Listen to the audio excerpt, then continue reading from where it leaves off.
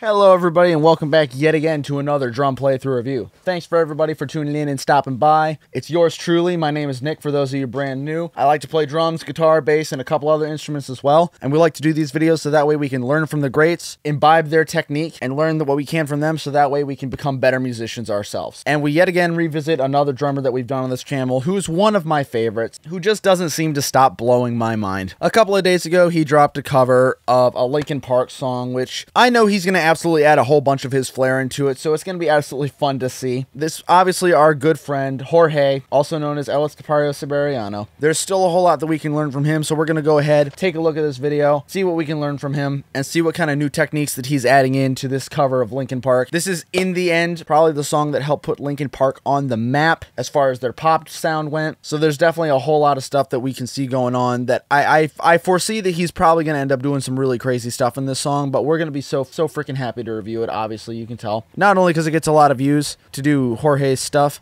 but also because Linkin Park is one of my favorite bands out there. They really are. All right. Without further ado, ladies and gents, let us get into the playthrough.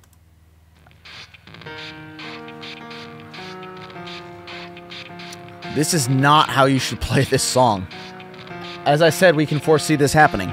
However, let's have some fun, shall we? We shall. I can foresee this happening. He's going to do a lot of crazy stuff at his own flair.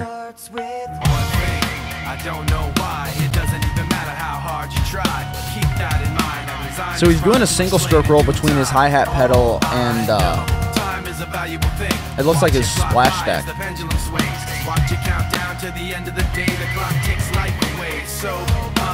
I like the layering though that he's doing with the toms there. It's adding a little extra color into the riff. It's like what my first drum teacher ever told me. His name is Jeremiah Queen. Jeremiah, if you're ever watching this video, shout out to you, dude. The toms are your color and the snare is your black and white.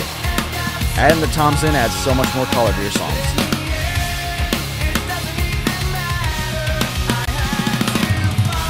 Oh yeah.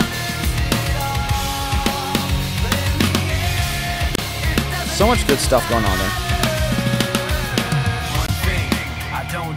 So much good stuff. So he's using a lot of different flams and stuff in there to add some extra color to the songs. Nice accenting. Nice accenting the vocal line with the China cymbal there. That helps the part hit a lot harder there.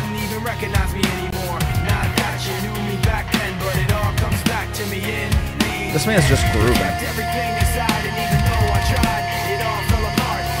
And then he's doing that roll too between the bass drum and the floor tom there. I do like how he's playing the groove here because it it's like he's injecting some Slaughter to Prevail grooves in there.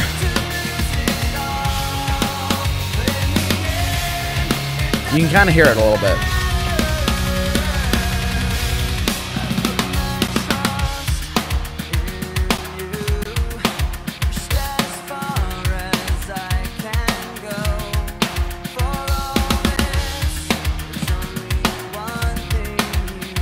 Yeah, he's using a lot of crazy layers here.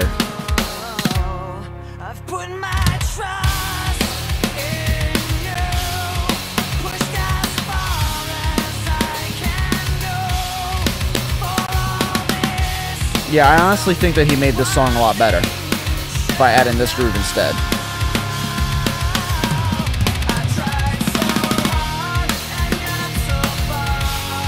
Like, this should have been the drum groove, honestly. It would have added so much more flavor.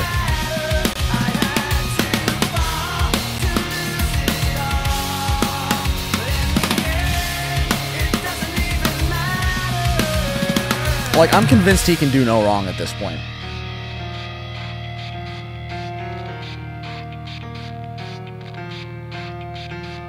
I am convinced he can do no wrong.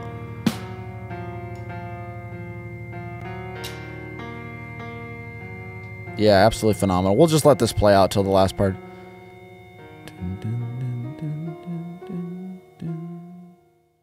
Absolutely phenomenal job on Jorge's part there. So what are we seeing here? He opens up the video with saying, this is not how this song should be played. Take those words back, sir. Yes, it is. Honestly, what he's done here is he's changed the feel of the song by changing how the backbeat is played. how that main part is played. Because in the original song, the backbeat is really played on the three, not really the two and the four, if you really feel it. Because what does the backbeat go like? It's totally different vibe. He's putting the backbeat on the two and the four, so it's a little bit more common in the you know in each bar of the song and it makes it feel a little bit more driven. It makes it feel a little bit more impactful. You can tell, honestly, in this song, he's using a lot of the cymbal work to help complement the vocals and complement with the accents and all that. And I think that's something that a lot of drummers can really use from. Your cymbals, believe it or not, have a very similar EQ range to the vocals in your mix. That is correct. They lie on a very similar hertz range especially if the vocals are going to be a lot higher sung or anything like that. So, what's something that you can do to help your mixes get better and also help your songs sound a little bit more consistent, add some cymbal effects and cymbal accents to complement the vocal lines. Because honestly, having that backing there, especially if it lies within the same EQ range, it really does help, especially for that part to just hit a little bit harder, for those accents to be a little bit more memorable, it makes your drum parts more memorable. It makes people groove out a lot more. And obviously, like I say, he's keeping loose. He's keeping everything nice and tight.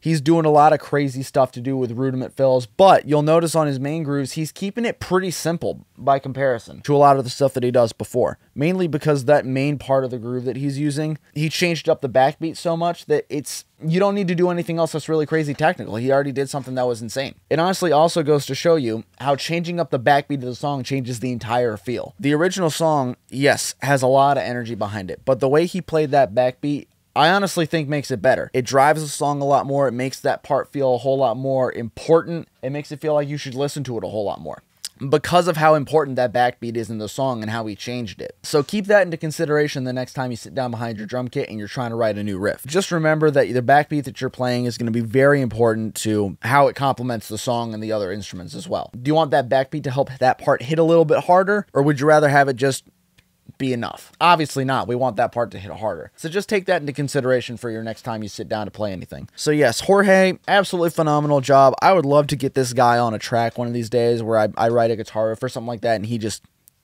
jams. That would be absolutely sick. And with all that being said, guys, we'll cut the video here. So here's just a few things y'all can do to support me. So for one, you can like, share, subscribe, comment down below what you thought of the video. You can also check out the playlist that I got down below of all the other videos I got similar to this. And you can also check out below the links to my Spotify and my band page as well. That would be very helpful. And with all that being said, y'all, that's going to be the end of this one. So thanks for tuning in and sticking around and stopping by. And hopefully I will be able to see you guys in the next video. So cheers, everybody. Have a good one.